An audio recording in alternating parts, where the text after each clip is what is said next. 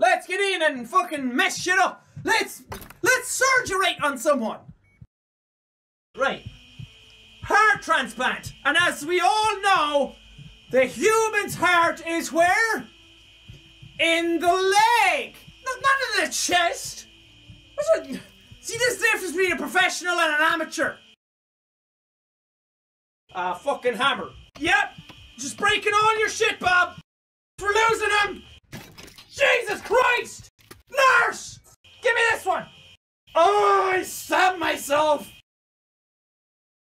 Good ship! Lollipop, it's a wonderful trip to the candy shop! Let it be known that if you stab yourself full of heroin, to stab yourself again, you'll be fucking fine.